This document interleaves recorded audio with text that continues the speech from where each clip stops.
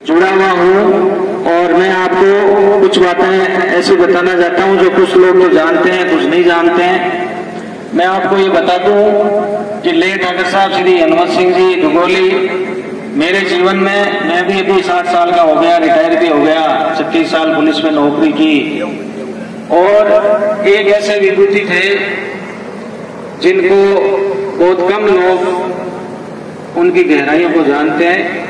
उनके साथ के लोग कुछ ही बचे हैं, जिसमें मेरे दादा भी हैं और बालजी बाबा सा नौका वगैरह चले गए। मैं इस जगह से बहुत अधिक जुड़ा हुआ हूँ, बचपन से लेके और जब तक दाता नानो सा विराजे, तब तक और अभी भी। मैंने मेरे जीवन में, मैं राजस्थान में कई जगह में नौकरी की, जयपुर भी मैं कई साल, कई थानों का इंचार्ज रहा। राजस्थान के करीब करीब सारे समाज, अपने समाज के सभी प्रतिष्ठित लोगों से भी मेरा परिचय है, सबको सेवा का मौका भी मिला। लेकिन मेरे अभी तक के जीवन में जो व्यक्तित्व मैंने ले, ठाकर साहब, अनवर सिंह दुगोली का देखा, वो मैंने जीवन में किसी का नहीं देखा। बहुत बड़ा व्यक्तित्व था, बहुत बड़े राजनीतिज्ञ, बहुत बड़े संगीतकार और बहुत बड़े दयालु। और सबको साथ लेके चलने वाले उनके असीम किस्से हैं और आज उसी घट में अपन सभी यहाँ एकत्रित हुए हैं। इसलिए मैं पुण्य दिल की गहराइयों से दुगोली ठिकाने का हम सबको यहाँ बुलाने के लिए बहुत बहुत आभार, साधुवाद। अब जो अपना यहाँ आने का पर्पज है, उसके ऊपर तो एक पर्चा भी आपके पास है। तो गुरु, गुरुदेव के चरणों में भी नमन। और मेरे पिता तुल्य बुज़ुर्गों के चरणों में सादर नमन वंदन। मेरी युवा शक्ति मेरे सामने बैठी है, उनको सादर। जय माता जी मैं आपका दौलत सिंह राठौर, ठिकाना डाबड़ी हमारी जड़ें यहाँ से हैं। हमारी जड़ें यहाँ से हैं। हम भले ही यहाँ से हर गाँव में चले गए हो तो जड़ से ही वृक्ष बनता है। जड़ों से ही वृक्ष बनता है। आज वो वृक्ष आप लोगों के रूप में हरा भरा है। आप केवल और केवल सोशल मीडिया के माध्यम से यहाँ पधारे हैं। सुरेंद्र सिंह जी ने, मान सिंह जी ने, जितने भी भाइयों ने अपना प्रयास किया कि घर घर जाकर चावल नहीं दिए, उसके बाद भी इतने संख्या में एक ही समाज के लोग यहाँ पधारे हैं। मैं उनको सादर नमन और वंदन करता हूँ। एक बार अपने लिए तालियाँ ज़रूर बजाइए सर। एक बार अपने लिए तालियाँ ज़रूर बजाइए सर। बहुत खुशी महसूस होती है जब एक ही समाज, केवल सोशल मीडिया के ज़रिए एक बुलावे पर मैं और भी दो तीन जयंतियों में गया हूँ। राव विद्या जी की जयंती हुई थी। क्योंकि आ, मेरा YouTube चैनल है दौलत सिंह के नाम से ही है। मैंने यहाँ का भी एक पूरा लाइव कवरेज किया है। उसके बाद में आप देख लेना घर जाकर। दौलत सिंह के नाम से मेरा YouTube चैनल है। तो हर जगह मैं जयंतियों में जाता हूँ। केसरी सिंह जी की जयंती में भी, भी गया था। तो वो तो घर घर जाकर पीले चावल दिए थे। हर घर में हर गाँव हर डाणी में गए थे। तब जाकर वो कारवा लगभग साढ़े चार सौ, पाँच सौ का बना था और मैं धन्यवाद दूँगा इस रत्नो जोधा परिवार को, माँ भवानी को, कि इतनी संख्या में मेरे नौजवान और मेरे बुज़ुर्ग माँ बाप यहाँ मौजूद है। ये बहुत ही प्रशंसनीय बात है कि किसी के बुलावे पर नहीं, हम अपने समाज से, अपने लोगों से बात करने के लिए यहाँ आए हैं। वजह कुछ भी हो, मैटर कुछ भी हो, विषय कुछ भी हो पर हम अपने बुज़ुर्गों को, हम अपनी जड़ों को जानने के लिए यहाँ आए हैं। कहते हैं कि जिस मकान की नींवें मज़बूत हो, भले ही उसके ऊपर आप कितने भी बिल्डिंग का मकान खड़ा कर सकते हो तो जड़ हमारी मज़बूत है, नींव हमारी मज़बूत है, और हमारा तो स्वर्गीय इतिहास है, जहाँ दुर्गादास राठौड़, वीर शिरोमणि अमर सिंह जी, पूज्य राव जोधा जी, रतन सिंह जी, ऐसे महापुरुष हुए हैं। लोगों ने लाखों लाख बलिदान हमारे लिए किए हैं। क्षत्रिय राजपूत घर में पैदा होने से क्षत्रिय नहीं होता है। और उस आग में जाके डालती ऐसी वो कई बार करने के बाद उससे किसी ने पूछा कि तेरे इतने से पानी से ये आग बुझने वाली तो है नहीं, फिर भी तू ऐसा क्यों कर रही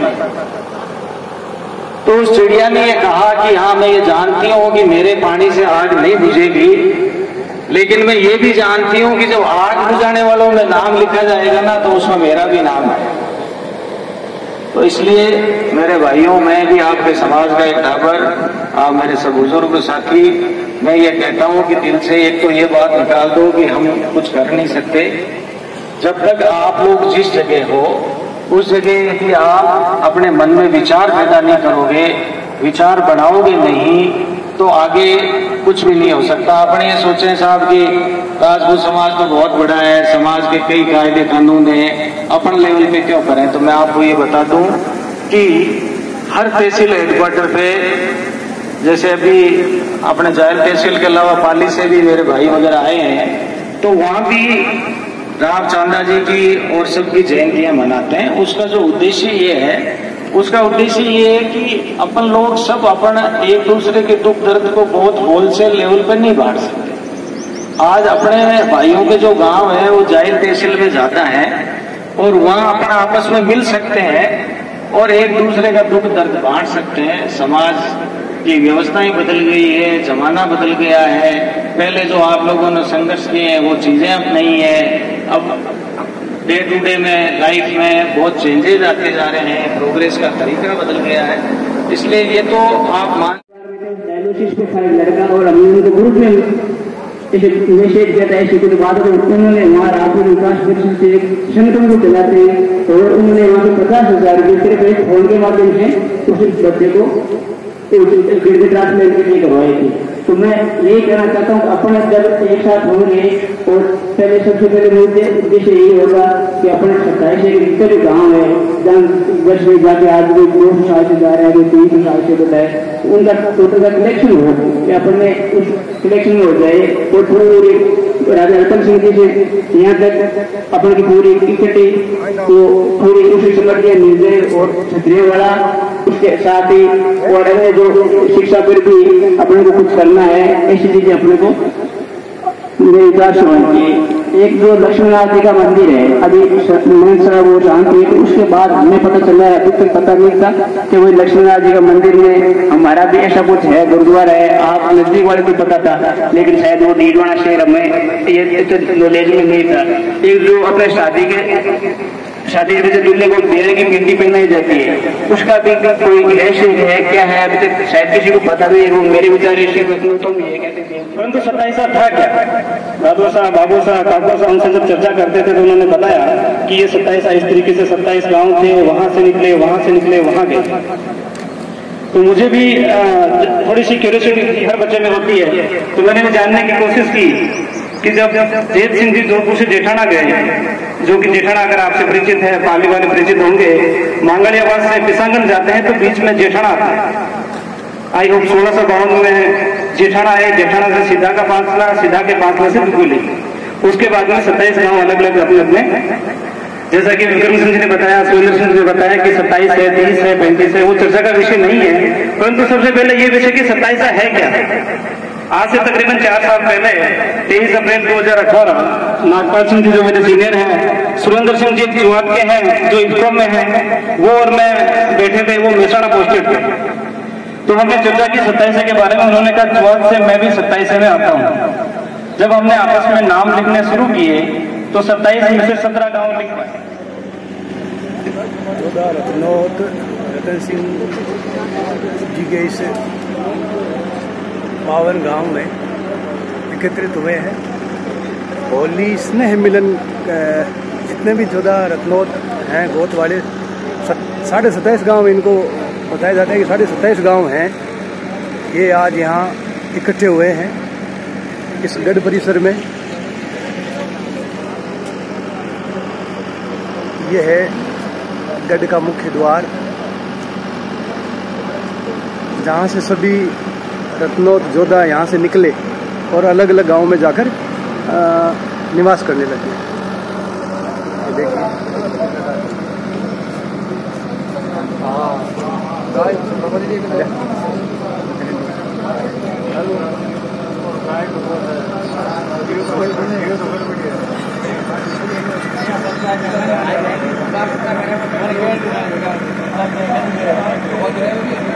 और फिर दिखाएँगे हम आपको अंदर का वो कार्यक्रम का नज़ारा तो बहुत ही सुंदर और भव्य हो रहा है।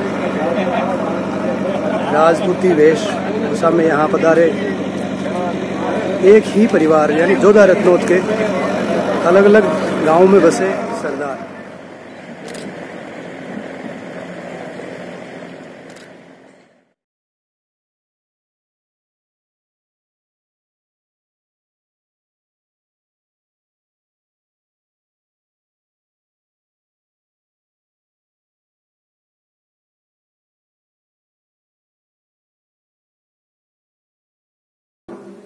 आदरणीय ठाकुर साहब संग्राम सिंह जी और डाबड़ी के प्रबुजन जो रत्नों जोधाओं की मीटिंग थी आते समय हमें इन पुण्य आत्माओं का भी दर्शन करने का सौभाग्य प्राप्त हुआ।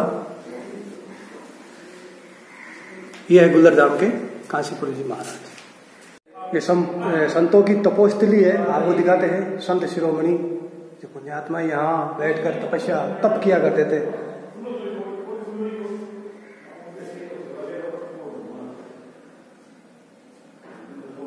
ये इनकी समाधियाँ बनी हुई है। हमें भी, हम भी सौभाग्यशाली हैं कि आज इनका दर्शन प्राप्त करने का सौभाग्य प्राप्त हुआ। गुल्लर धाम जो अपने आप में प्रसिद्ध धाम है।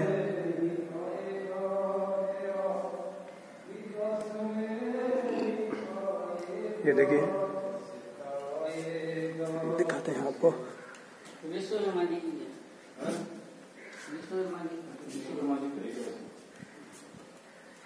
देव शिल्पी विश्वकर्मा जी, महाराज की भी शानदार मूर्ति विराजत है।